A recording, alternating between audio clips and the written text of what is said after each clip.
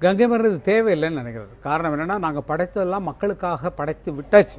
ம். படைச்சு விட்டாச்சு. படைச்சு மக்களுக்காக நாங்க பாடுறோம்னு சொல்லி எல்லா பாடல்களையும் பாட்டாலே புத்தி சொன்னா இருக்கட்டும் ஆண் என்ன பெண் என்ன நீ என்ன நான் என்ன எல்லாம் ஓரினம் தான். பாடல்களை போட்டு விட்டாச்சு அதுல மயங்கி கிடக்குறாங்க ஜனங்க.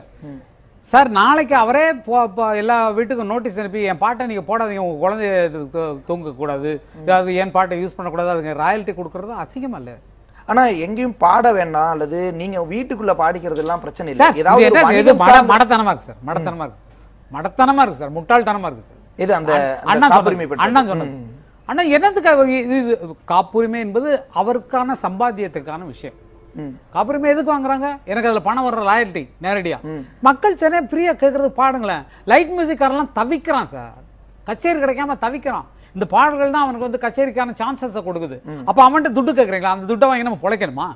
அந்த துட்டை வாங்கி தான் பொழைக்கணும்னு ஆச்சரியம் ஏதாவது விஷயம் இருக்கா நமக்கு? அவ்வளவு பஞ்சத்திலேயே கிடக்குறோம்? ஒரு பெரிய பாடகர் எஸ்பி பாலசுப்ரமணியம் அஹ், விஜயதாஸ் போன்றவர்கள் பாடிய பாடலை ஜனங்கள் அவங்க டிக்கெட் எடுத்து போறவங்க இந்த பாட்டை பாடணும்னு கேட்டா நீ பாடாத. இல்ல பாடணும்னு கேட்டா அனுமதிக்கிறது அது அது அடுத்த விஷயம். ஆனால் ஒரு முன் அனுமதி பெறணும் அப்படிங்கிறது- முன்னனுமதி சார் அவரு பாடின தியாகராஜ கீர்த்தனைக்கோ எம் எஸ் சுசனாதன் பாட்டுக்கோ யாருக்காவது முன்னுரிமை வாங்கினாரா? இதுக்கு முன்னால இது மாதிரி நடந்திருக்கா? ஆனா அவங்க தியாகராஜ கீர்த்தனை அவர் பாடும்போது தியாகராஜ கப்பங்கட்டினாரா போய்?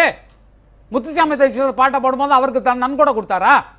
நான் விளையாட்டா இருக்கு? அசிங்கமா இல்ல ஆனா இந்த உத்தரவு அவங்க வாங்கி வச்சிருக்காங்களாங்கிற. உத்தரவு வைக்க இது வாங்கியிருந்தாலும் அதை சரண்டர் பண்ணணும்.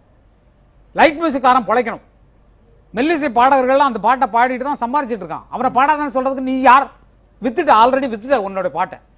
அதுக்கான சம்பளத்தை வாங்கியாச்சு. மக்கள் சொத்தாகி போச்சு. எல்லாமே.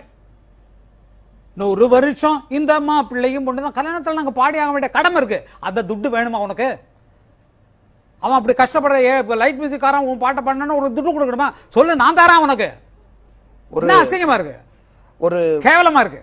செக் ஒரு ஒரு திருவிழாலயோ ஒரு கல்யாண வீட்லயோ பாடிக்கிறதுல என்ன பிரச்சனை இது ஒரு ஒரு ஒரு பெரிய அமெரிக்கா